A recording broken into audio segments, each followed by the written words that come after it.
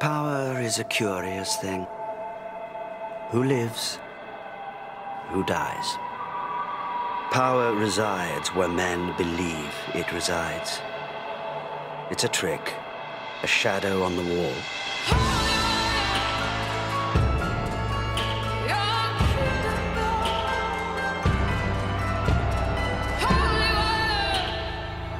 Sometimes I wonder if this is the price for what we've done, for our sins. Anyone can be killed.